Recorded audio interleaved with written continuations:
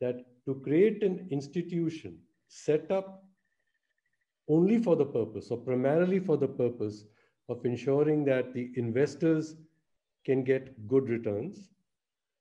In fact, give this institution limited liability. It's a limited liability corporation. The investors are secured against the harm that they do beyond what they have put into it. it means only your capital can get destroyed, though you might have destroyed several times more in terms of the damage, and you might have killed people in the process, but you cannot be taken into account for that.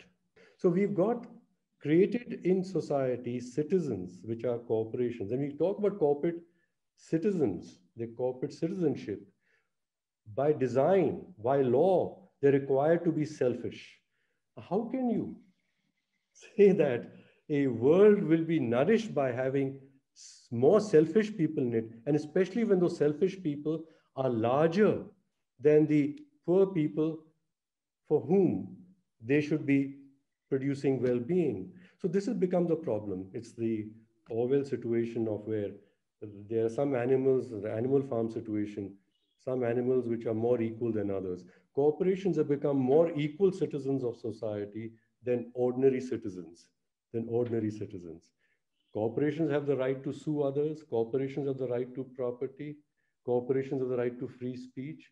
But there's so much more money to put behind this than other citizens have. And so this is where today, and Suresh has alluded to this, there is a crisis of capitalism happening, and it's causing a crisis in democracy.